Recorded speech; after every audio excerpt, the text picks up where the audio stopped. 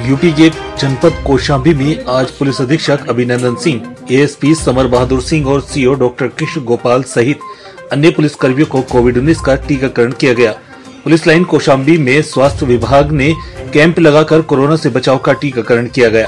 Camp में police अधीक्षक अभिनंदन सिंह ने कोविड उन्नीस के वैक्सीन का टीका लगवाकर लोगों से अपील किया कि टीका पूरी तरह सुरक्षित है, इसे सब लोग लगवाएँ।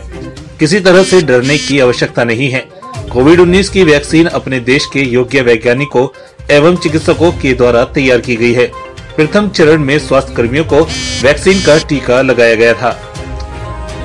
स्वास्थ्य कर्मियों के बाद पुलिस विभाग के कर्मचारियों को वैक्सीन का टीका लगाया जा रहा है। इसी क्रम में आज कोशाम्बी पुलिस अधीक्षक कोशाम्बी अभिनंदन सिंह ने वैक्सीन का टीका लगवाया। टीका लगवाने के बाद अपने अनुभव का साझा करते हुए लोगों से अपील किया कि टीका पूरी तरह सुरक्षित है। इसमें कोई साइड इफ़ेक्ट नहीं है। सामान्य इंजेक्शन की तरह है, जिसका नंबर आए, तुरंत वैक्सीन का टीका अवश्य लगवाएँ। इसके साथ ही मास्क लगाएँ और सैनिटाइजर का प्रयोग करें और साबुन से हाथ धोएँ।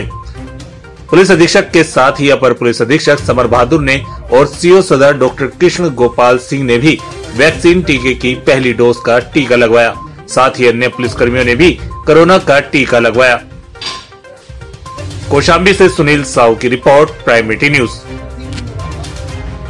मैं अभिनंदन एस पी कौशाम्बी। आज मैंने कोविड 19 वैक्सीनेशन का पहला डोज लिया है और अभी मुझे ये वैक्सीन लगवाए लगभग 15 मिनट हो गए हैं और ये वैक्सीन पूरी तरह से सेफ़ है, सिक्योर है। कोई साइड इफ़ेक्ट्स नहीं है, पता भी नहीं चलता लगाते समय और जैसा कि नॉर्मल हम लोग इंजेक्शन लगवाते हैं, बिल्कुल उस तरह का है। और मैं आम जनता से अपील करता हूँ कि ये बिल्कुल सेफ़ है ये वैक्सीन और खुलकर जब उनका नंबर आता है तो उसको लगवाएँ। इसमें किसी प्रकार की कोई हिचक ना रखें अपने मन में। और वैक्सीन के अलावा भी और मास्क और सैनिटाइज़र का प्रयोग लगातार करते रहें और अपने हाथों को साबुन से लगातार धोते रहें।